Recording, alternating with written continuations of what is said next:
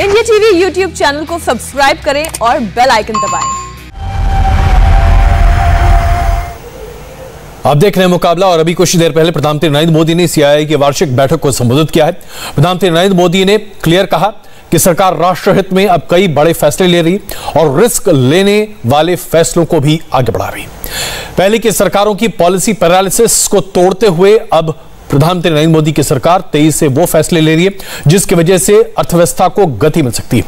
उन्होंने कहा कि उनकी सरकार राष्ट्रहित में हर जोखिम उठाने को तैयार है। और यही वजह है कि महामारी के बावजूद अर्थव्यवस्था रफ्तार पकड़ रही है और इसी मुद्दे पर आज हम चर्चा कर रहे हैं। हमारे साथ शाजिया इलमी जी मौजूद हैं, भारतीय जनता पार्टी के प्रवक्ता और जॉय कुमार जी, कांग्रेस के प्रवक्ता, डॉक्टर आशुतोष वर्मा, समाजवादी पार्टी के प्रवक्ता और माधव आनंद जी, जेडीयू के प्रवक्ता हमारे साथ मौजूद हैं। सबसे पहले, आशुतोष जी, मैं आप ही से ये सवाल लूँ। सीआई की इस बैठक में प्रधानमंत्री नरेंद्र मोदी ने तमाम उन फैसलों का ज़िक्र किया, जिसके वजह से आज देश की अर्थव्यवस्था को तेज़ी और गति मिल रही है। इसके बावजूद विपक्ष को लगता है कि यह काफ़ी नहीं है। ऐसा क्यों साहब? नहीं, अजय जी, ऐसा है कि प्रेस कॉन्फ्रेंस में बोलना और किसी समूह को घोषित करना, उसमें भाषण देना अलग बात है और ज़मीन पे जो हकीकत है, वो अलग हैं। आप सबसे कुछ छुपा नहीं है कि लगातार हमारी अर्थव्यवस्था कितनी बुरी स्थिति में है और ये हम सब लोग जानते हैं। और बार बार इसमें कोरोना महामारी का हवाला दिया जाता है, लेकिन उसके बावजूद अगर विश्व रैंकिंग की बात करें तो भारत भारत की जो आर्थिक आउटलुक जो दिया गया है, फिच की फिच की रेटिंग रेटिंग आई है, उसमें भी निगेटिव दिया गया है। मोडीज ने जो रेटिंग दी है, वो भी निगेटिव दिया है और जो डीबीआरएस हाल में दी उसने भी अपनी निगेटिव रैंकिंग दी है। यहाँ तक स्विट्जरलैंड की जो आईएमडी है इंस्टीट्यूट ऑफ़ मॉनिटरी जो अपनी रैंकिंग निकालती हैं, उसमें तिरसठ देशों में तैतालीसवें स्थान पर भारत अभी भी वहीं पड़ा हुआ है। इसका मतलब सुधार तो कहीं नहीं हो रहा है।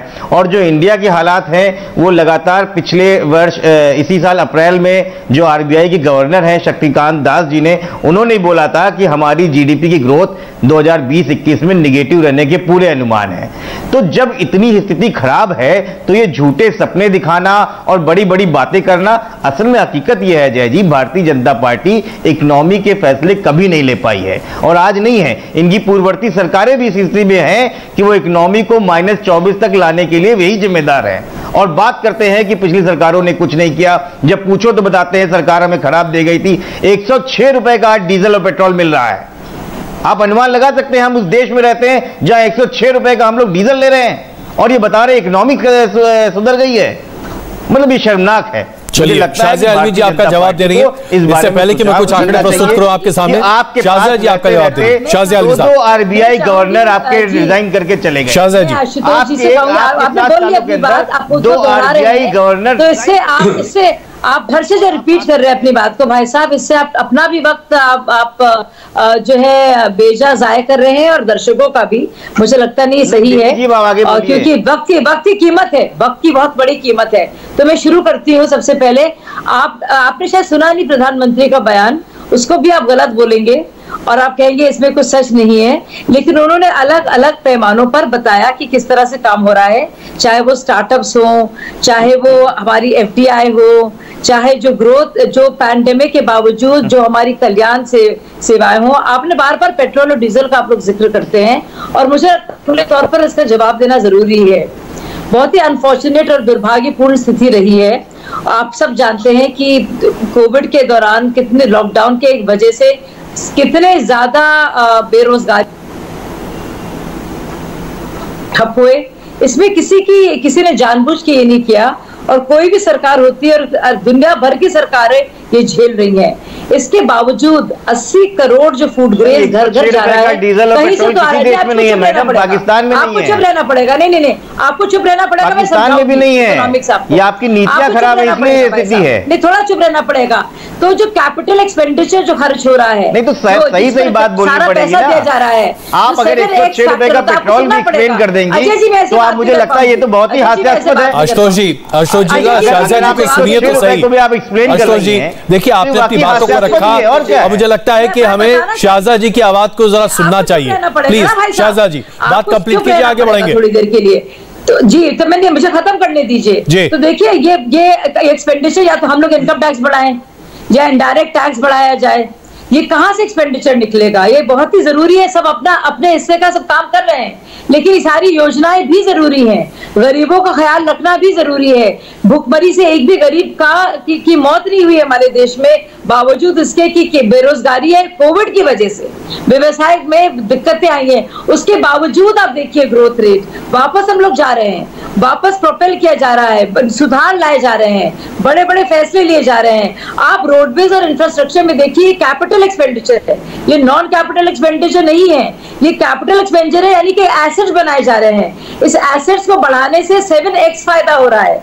और इससे इससे रोज़गार भी मिल रहा है। तो इससे दो दो दो, दो तरह से लाभ है। एक तो इकोनॉमी को बूस्ट मिलता है यही न्यू डील में हुआ था अगर आपने उसके बारे में पढ़ा होगा। तो जब ऐसे हालात है तो आपको रोज़गार भी देना है इकोनॉमी को भी पुल करना है। आपको एसेट बढ़ाने हैं आपको इंफ्रास्ट्रक्चर पे ध्यान देना है। तो ये वजह है। और सही बात कह रहे हैं आप पेट्रोल डीजल के दाम है लेकिन इनकम ना तो इनकम टैक्स बढ़ा है ना किसी और चीज़ों का टैक्स बढ़ा है। देखिए अपनी बातों को बहुत प्रखरता तो, से अभी शाहजा जी ने रखा है। अजय जी मैं आपके पास आऊँ। प्रधानमंत्री जी ने अपने सीआईए के भाषण में उस रेट्रो टैक्स की बात भी की है जो कि आपकी यूपीए सरकार के दौरान हिंदुस्तान में लादा गया और वो अपने आप में पहला ऐसा एग्ज़ाम्पल था जो कभी नहीं होना चाहिए था। लेकिन हुआ उसे आज मौजूदा सरकार ने खत्म किया है। बहुत बड़ी पहले वरना इंटरनेशनल कॉन्फिडेंस बहाल नहीं हो पाता। फिर भी आपको लगता है कि आज मोदी सरकार आर्थिक मोर्चों पर विफल है? क्यों भाई? देखिए, अजय जी रेट्रोस्पेक्टिव टैक्स एक हमारे विचार में और व्यक्तिगत रूप से और मुझे लगता है पार्टी के अंदर भी स्पष्ट रूप से ये काफ़ी लोग ने बताया चिदम्बरम साहब ने भी बोला है कि वो टैक्स गलत था। तो इसमें दो राय नहीं है। सात साल क्यों लगे बताइए? सरकार को इसलिए सात साल लगे। क्योंकि जब केन ने जो भारत के एसेट को जो कब्जा करने के लिए आदेश निकाले थे, वो ट्रिब्यूनल के माध्यम से इंटरनेशनल आर्बिट्रेशन के माध्यम से तो सरकार मजबूर हो गई। अब मोदी जी को प्रधानमंत्री जी इतना लगातार असत्य कहते रहते हैं। अफसोस की बात है कि बोलते कि हमने निर्णय लिया। निर्णय का कारण क्या था? सात साल में, शाहजहा जी, दो सेकेंड सात साल तक तो निर्णय नहीं लिए जब उनको पूरे दुनिया में जो है, जब भारत के एयर इंडिया के एसेट को जब्त करने की स्थिति हो गई थी, तब उन्होंने जो निर्णय, और तब वाहवाही लूटने के चक्कर में तो ये सरकार किसी चीज़ में भी वाहवाही लूट सकती है। दूसरी बात है, जब मैं इनके भाषण सुन रहा था तो एक चीज़ स्पष्ट है कि भाषण ही हमारा शासन नहीं है मोदी जी, और इनके सरकार के लिए एकदम फिट एक डिस्क्रिप्शन इसलिए है। आपको विश्वास, मुझे लग रहा था कि किस देश के बारे में बोल रहे हैं। हमने जो है वेंटिलेटर में अच्छा काम किया ऑक्सीजन में अच्छा काम किया। ये एक ही सरकार इस देश के इतिहास में सत्तर साल में कभी नहीं हुआ जो बेरोजगारी के आंकड़े जो है प्रकाशित नहीं करती है। आपको कभी नहीं मालूम होगा कि इस देश में कितने बेरोजगार हैं। ये पहली सरकार है। तो वाह लूट रही थी, मोदी जी को जो है धन्यवाद। कभी नहीं। दूसरी बात, महँगाई अजय जी कंप्लीट करने दीजिए सुन ना कड़वा सच है, लेकिन सुन तो दो second sir petrol, diesel inflation महँगाई, बेरोजगारी इस देश में आप बताइए आप भी जानते हैं कि पूरी तरह से लोगों की कमाई एक शाजिया जी दो सेकेंड। लोगों की कमाई खत्म कम हो गई है। पहली बार तीस देख लीजिए तीन करोड़ मध्य वर्ग के लोग गरीबी रेखा के नीचे चले गए। मध्य वर्ग जो जो बीजेपी के जो व्हाट्सएप फॉरवर्ड करते हैं तीन करोड़ एक मिनट शाजिया जी शाजिया जी मैंने आपको इंटरप्ट नहीं किया। शाजिया जी मैं तो बहस नहीं करूँगा। मैं तो आपको इंटरप्ट नहीं किया तो अनुरोध है कि दो मिनट में खत्म कर लेता फिर आप जितने सवाल आप, बहुत लंबा भाषण दे रहे हैं भाई साहब। अच्छा, अरे भाषण तो दो लोगों ने सरकार को कहा है आप मेरा फ़र्ज़ है जवाब मैं दो सेकंड में अच्छा Shazia ji please let him finish Shazia ji please please सुन लेते सुन लेते अच्छा अजय जी प्लीज़ संक्षेप में। बस तीस सेकंड में खत्म कीजिए क्योंकि एक सवाल मुझे आपसे पूछना है उसका शाजी आपसे सवाल पूछेंगे। जी। क्योंकि भारतीय जनता पार्टी के सभी प्रवक्ताओं को जो है आंकड़े एकदम पसंद नहीं है। मैं आपको जरा आंकड़े के माध्यम से कह रहा हूँ। बेरोजगारी के आंकड़े देख लीजिए महँगाई का देख लीजिए। मध्य वर्ग तीन करोड़ मध्य वर्ग लोग जो है गरीबी रेखा के नीचे आ गए। इस देश में 24 करोड़ लोग जो है जो खत्म हो गए थे 12 करोड़ तक गरीबी रेखा के नीचे लोग थे वो 24 करोड़ हो गए। तो आप बताइएगा कि ये किस किस देश के बारे में भाषण दे रहे थे मुझे समझ में नहीं मैं सोचा था कि मोदी जी ने हो सकता है गलती से साउथ कोरिया का आंकड़े निकाल करके भाषण चलिए बिल्कुल साउथ कोरिया के आंकड़े नहीं है लेकिन अजय जी मैं दो सवाल आपके सामने रख रहा हूँ। दरअसल दो तथ्य रख रहा हूँ और उसका एक सवाल। सबसे पहला सवाल आपने बेरोजगारी की बात की। मैं आपके सामने 2007-2008 के आंकड़े रख सकता हूँ। जब मनमोहन सरकार दम भरती थी कि आर्थिक तरक्की लगातार आगे बढ़ रही है उस वक्त सिर्फ़ एम्प्लॉयमेंट एक्सचेंज के आंकड़े जोड़े जाते थे देश में सिर्फ़ एम्प्लॉयमेंट एक्सचेंज के आंकड़े। और उस हिसाब से देश में 4.3 परसेंट अनएम्प्लॉयमेंट थी। अगर पूरे तरीके सर्वव्यापी अनएम्प्लॉयमेंट जोड़ा जाता तो उस वक्त कम से कम 17 परसेंट अनएम्प्लॉयमेंट की बात सामने आती। तो आंकड़ों की बात यूपी अगर करती है तो थोड़ा सा गड़बड़ है। पहली बात। सुनिए। सर सर सुनिए ना। मैं ऐसे नहीं बैठ रहा हूँ सर। और दूसरा बड़ा सवाल। आपने कहा कि व्यक्तिगत तौर पर आप रेट्रो टैक्स के खिलाफ हैं। पार्टी में भी इसके बारे में कई बातें कही गई। लेकिन उस एक फैसले ने पूरे अंतर्राष्ट्रीय इन्वेस्टमेंट पर कितनी बड़ी कुंठा मारी ये तो आप स्वीकारते हैं ना? मानिए कि आपने देश अच्छा। के साथ बहुत नाइंसाफी की है। एक मिनट एक मिनट तो बोलने दीजिए। तो आप कैसे बोल सकते हैं? मोदी जी बोलते हैं कि सबसे ज़्यादा फॉरेन डायरेक्ट इन्वेस्टमेंट आ गया है। कोई ना इंसाफ मैंने जो मैंने जो बिल्कुल सर अजय जी अजय जी आप आप बहुत ही पढ़े लिखे और बुद्धिजीवी हैं। मैं जानता हूँ। इसलिए मैंने आपके सामने सवाल रखा। आप बताइए कि घोस्ट अनएम्प्लॉयमेंट का कॉन्सेप्ट देश में किसने दिया? अजय जी कांग्रेस ने ही दिया ना? नहीं नहीं एक मिनट सटीक सटीक जवाब देता हूँ। सर। यदि रेट्रोस्पेक्टिव टैक्स गलत है तो कांग्रेस को थोड़ा तारीफ़ कर लीजिए ना कि सबसे ज़्यादा लोग को गरीबी रेखा से ऊपर उठाए थे। ये भी आंकड़े आपके पास होंगे अजय जी? बिल्कुल चलिए। आप आप आप ये देखिए one sided please please you can not take one side ना sir Ajay ji performing assets का पूरी विरासत जो छोड़ के कांग्रेस सरकार अजय जी मैं कंप्लीट कर देता हूँ। सरकार को देखिए। हमारी सरकार को देखिए हमसे सवाल करते हैं हो कोर्ट को लेके आए। शाजिया जी आप क्या बात सवाल किया ना मैं जनधन योजना को देखिए। नहीं नहीं शाजिया जी भी नहीं कर सकते। शाजिया जी। आप किस मुँह से बोलते हैं? अरे मुझे तो बोलने तो दीजिए मुझे सवाल करते हैं अजय जी। अजय जी मैडम को जरा अनुरोध कर लीजिएगा कि मुझे बोलने की वजह से देश से कितना शाजिया जी शाजिया जी जरा दो मिनट बोलने दीजिए नहीं तो नहीं तो अजय जी कह देंगे कि पार्लियामेंट से लेकर टीवी स्टूडियो तक विपक्ष को बोलने का मौका नहीं मिलता। जी। नहीं नहीं आपके साथ ये आपके साथ ये शिकायत कभी नहीं रही? आपके साथ अजय जी आपके साथ इस तरह की शिकायत कभी नहीं रही है? तो इससे मैं आपसे क्योंकि जिस तरह से आपका डर है एक दो चीज़। कांग्रेस के समय में बहुत सारे अच्छे निर्णय लिए गए थे कुछ गलत निर्णय लिए गए थे हम भी बोलते लेकिन ये सरकार कभी अपनी गलती को नहीं मानते दूसरी बात है रिट्रोस्पेक्टिव टैक्स को जो जो कानून ले आए थे सात साल बाद वो मजबूरी में ले आए थे वो दूसरी बात है। तीसरी बात है आप बोलते हैं कि हमने एम्प्लॉयमेंट एक्सचेंज के आंकड़े जो सार्वजनिक किए, बाकी नहीं किए। अब ये स्थिति इस देश में कि कोई आंकड़े नहीं है। अब आप बताइएगा कि कम से कम कुछ तो आंकड़े थे। अरे देखिए अजय जी अजय जी यही मैं कहता हूँ partial truth is more dangerous than the absolute falsehood पुरानी पुरानी कहावत है आधा सच झूठ से भी ज़्यादा खतरनाक होता है। बात ही नहीं है। कोई है ना? खैर चलिए मैं मैं अभी बहुत देर से बहुत देर से आ, हमारे जेडीयू के माधव जी इंतज़ार कर रहे हैं। माधव जी आपने विपक्ष के दोनों नेताओं की बातें सुनी है।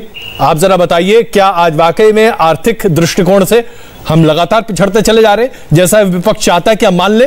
प्लीज़ अजय जी, मैंने सारे लोगों की बातों को बड़ी ध्यानपूर्वक सुना और मुझे विश्वास है कि मुझे दो मिनट बोलने का मौका दिया जाएगा क्योंकि मैं एक अर्थशास्त्री भी हूँ। पिछले सात सालों में आदरणीय प्रधानमंत्री जी के, नरेंद्र मोदी जी के नेतृत्व में जो सरकार चल रही है, निश्चित रूप से बहुत सारे ऐसे ठोस कदम उठाए गए हैं जिससे भारतीय अर्थव्यवस्था को मजबूती मिला है। आप जीएसटी की बात आदरणीय प्रधानमंत्री जी ने की, जिस तरह जीएसटी लाया गया जीएसटी का जिस तरह कलेक्शन हो रहा है तो निश्चित रूप से एक ये सब बहुत शुभ संकेत अपने देश की अर्थव्यवस्था के लिए है। जहाँ एक तरफ़ पूरी वैश्विक अर्थव्यवस्था का अगर आप अध्ययन करेंगे तो इस कोविड पेंडेमिक के कारण पूरे विश्व की अर्थव्यवस्था चरमराई हुई है।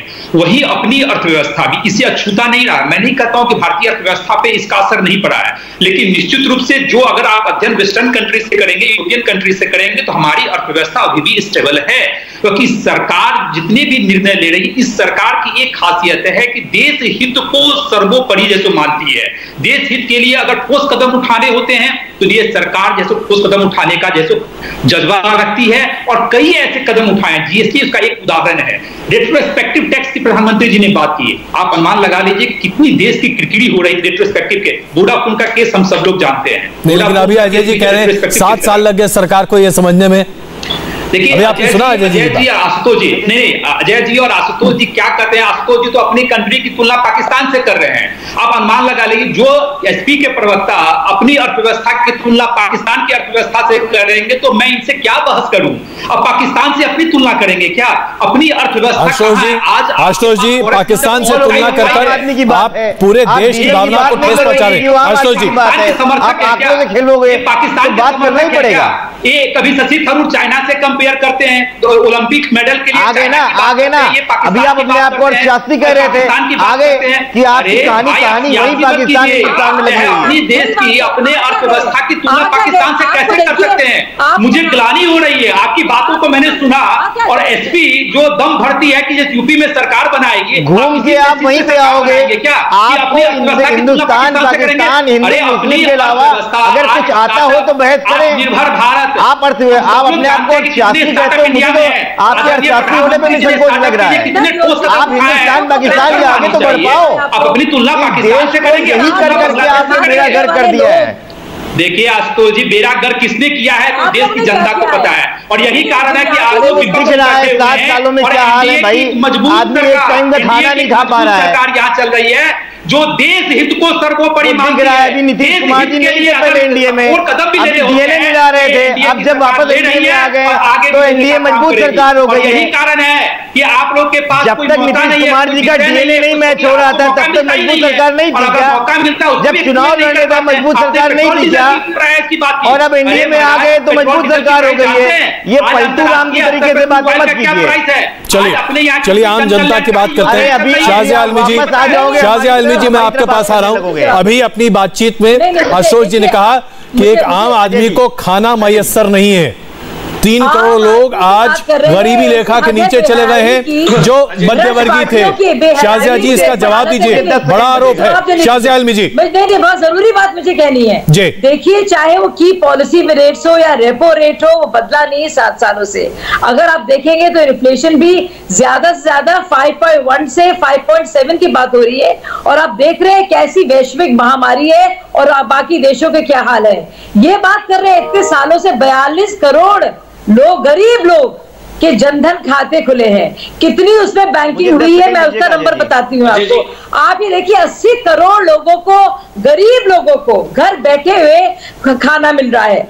आप देखिए फर्जी वाले बिचौलिए हट गए हैं। आधार कार्ड के ज़रिए जनधन योजना के ज़रिए ये बर्दाश्त हो नहीं रहा है। शाहजिया जी, एक सवाल मैं आपसे हो पूछूँ। एक सवाल एक सेकंड सर। सर एक सवाल।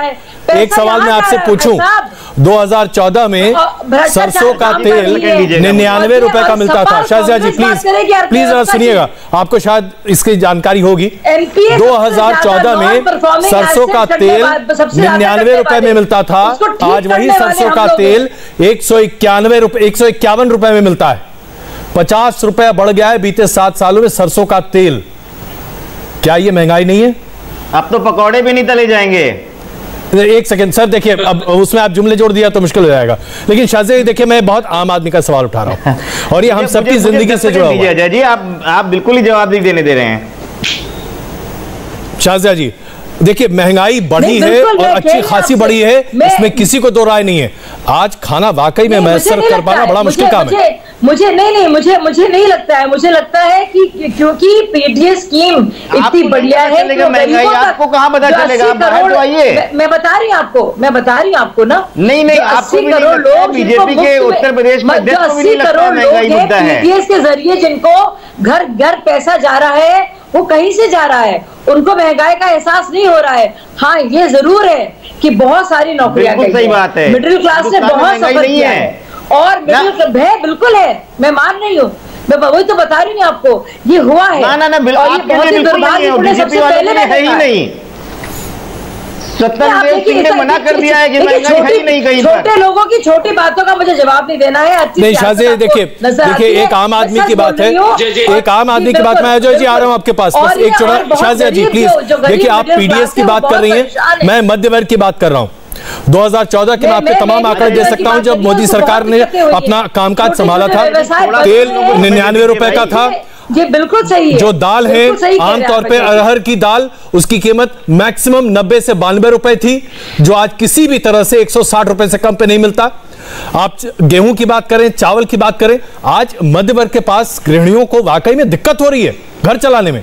इस बात की जानकारी तो सरकार को है ही ना। आप गेहूँ की बात करते हैं उधर यही लोग बात करते हैं कि एमएसपी से डबल होना चाहिए और उसके डबल में किसान जब सरकार खरीदती है जो रिकॉर्ड खरीद भी हुई है इस बार फिर आप कहते हैं कि उतना महँगा क्यों है? अब आप देखिए कितने विरोधाभास है सारे आर्ग्यूमेंट में क्योंकि मैं बहुत स्टडी करती हूँ तो थोड़ा बहुत जानती हूँ। नहीं नहीं मैं मैं- बताती हूँ आपको। तो एक एक तो अस्सी करोड़ का जो क्लास हम बता रहे हैं जिसमें वो बिल्कुल ही गरीब की बात कर रहे गुहार मध्यम वर्ग में मध्यम वर्ग में भी जो निम्न वर्ग है। सुनिए मुझे बोलने दीजिए भाई साहब मुझे बोलने दीजिए। मैं आप ही के सवाल का जवाब दे रही हूँ। मैं जानती हूँ आप क्या कहेंगे आपके बोल ही रटे नहीं रटाए रहा है। आपके रटे रटाए सवाल का तो पूछा ही नहीं जा रहा भाई। भाई साहब। अच्छा ठीक है। आपको आशुतोष जी आशुतोष जी अभी जो मैंने सवाल उठाए उससे इतर अगर आपके पास कोई सवाल है तो पूछ लीजिए। मैंने तो पूछा ना अभी प्रवक्ता उसी का जवाब दे रही है बीजेपी मेरे पास सवाल नहीं है और मुझे बहुत साफ़ साफ़ ये अपने आप को और शास्त्री कह रहे हैं और ये भारतीय जनता पार्टी के जो लोग कहते हैं महँगाई नहीं है देश देश में मैं आपको और बार बार कोरोना का जो हवाला दे रहे हैं मैं आपको दो फिगर्स कि दे रहा हूँ कि जब मोदी सरकार ने जीएसटी लागू तो किया उस समय एक मिनट सुनिए जब जीएसटी लागू किया तो ये बोला। कि प्रति साल भारत की जीडीपी दो प्रतिशत से ज़्यादा बढ़ेगी। लेकिन हकीकत था कि class 2015-16 में जो आठ प्रतिशत की आर्थिक दर थी वो 16-17 में आठ दशमलव दो छह के बाद सत्रह 17-18 में छह दशमलव आठ अठारह उन्नीस में छह दशमलव पाँच और उन्नीस बीस में चार दशमलव ज़ीरो चार हैं, प्रतिशत और उस समय कोरोना नहीं था। इसका मतलब जीएसटी तो ने इस देश का बेड़ा गर्क किया है और उसकी भरपाई आप कोरोना के नाम पे नहीं कर सकते। ये कोरोना के पहले के आंकड़े हैं और लगातार जो हमारे एक, मिनट एक मिनट मैं आप दोनों के बीच में आ रहा हूँ प्लीज़ अजय जी मेरे पास वक्त कम है. प्लीज़ प्लीज़ प्लीज़ मेरे पास वक्त कम है. अजोय जी अजय जी अभी शाहजिया जी कह रही है कि जब किसानों को हम बड़ी हुई दुगनी एमएसपी देंगे तो ज़ाहिर सी बात है खाने पीने की चीज़ें और सामान महँगे होंगे। इसलिए लोगों को ज़्यादा पैसे देने मैं मैं दे मैं ये एग्ज़ाम्पल दे रही है। मैं इस पर आपकी प्रतिक्रिया चाहता हूँ। छोटी सी क्योंकि मेरे पास वक्त कम है। आप अजय जी अशोक आशुतोष जी प्लीज़ अजय जी की आवाज़ सुन रहे हैं हम सर बड़े सर मेरे आवाज़ बैठी हुई दो सेकंड अशोक जी। दो पहले, इससे पहले एक बहुत ही महत्वपूर्ण आंकड़े हैं। अजय जी, इस देश में 80 करोड़ जनता को जो है सस्ते में, ये मुफ़्त में राशन दिया जा रहा है। 130 करोड़ की आबादी में। यदि इस देश में सात साल में 80 करोड़ जनता को फ्री राशन देने की स्थिति आ गई तो आनंद, माधव साहब से मैं पूछना चाहता हूँ कि कौन सी अर्थव्यवस्था है कि इस देश में 80 करोड़ गुजरात का मॉडल 6 करोड़ में से साढ़े तीन करोड़ लोग को फ्री राशन। आप बताइएगा कि विकास है? आप बताइएगा कि देश आगे बढ़ रहा है? कि 80 करोड़ 130 करोड़ में से मजबूर है फ्री का राशन खाने के लिए। इससे ज़्यादा जो है क्या इससे बड़ी टिप्पणी क्या हो सकती है बारे एक में? बार भी नहीं कहेंगे कि माधव जी माधव जी जवाब दीजिए इसका। आप तो शास्त्री भी हैं चीज़ों को बेहतर तरीके से जानते हैं। माधव जी हाँ, माधव। मैं मैं मैं मैं मैं जी मैं, बहुत सम्मान करता हूँ अजय जी का बहुत ही वरिष्ठ कांग्रेस के नेता हैं। इन्होंने बात कही कि जो है मुफ़्त में अनाज। मैं कोविड पेंडेमिक के कारण जो मध्यम वर्गीय परिवार है या निम्न वर्गीय परिवार है, जिनकी इनकम जो है सो बहुत कम है तो स्वाभाविक है कि ये सो अनएम्प्लॉयमेंट बढ़ा है। इसमें कोई दोमत वाली बात नहीं है। सबने एक्सेप्ट किया है, सरकार ने भी एक्सेप्ट किया अनएम्प्लॉयमेंट बढ़ा है। जब अनएम्प्लॉयमेंट बढ़ेगा तो लोग स्वाभाविक है कि लोग को जो है सो खाने पीने की दिक्कत होती है। तो सरकार ने जनहित को ध्यान में रखा और सरकार ने जनहित को ध्यान में रखते हुए जब तक अर्थव्यवस्था पूरी तरह अपने पटरी पे नहीं आता, तब तक वहाँ जैसे मुफ़्त अनाज की बात कही। उसमें कहीं कोई बुराई नहीं है। दूसरी बात जो एसपी के लोगों ने कहा जीएसटी की उन्होंने बात की। जीएसटी लाने आप जानते कितने बड़ा रिफॉर्म है? आपके पास देश में कितने टैक्स पहले हुआ करते थे? आज सारे टैक्स को जो है तो जीएसटी के अंदर समाहित कर दिया गया।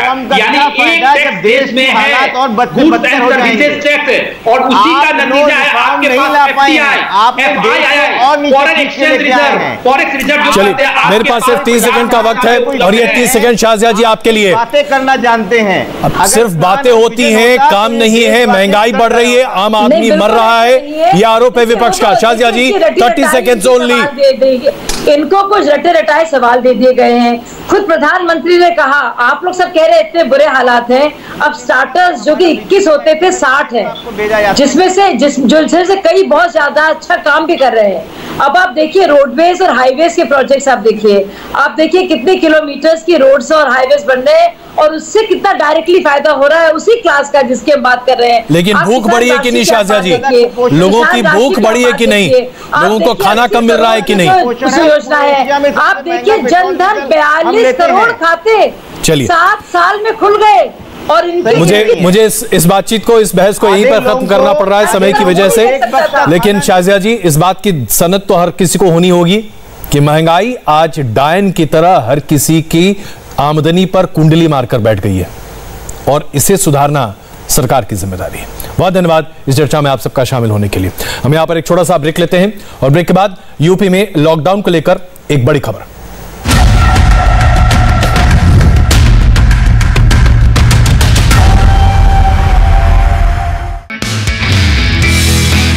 नमस्ते, मैं हूँ मीनाक्षी जोशी। वीडियो और खबरों से अपडेट रहने के लिए India TV YouTube channel subscribe करें। बेल आइकन दबाना ना भूलें। जुड़े रहें इंडिया टीवी के साथ।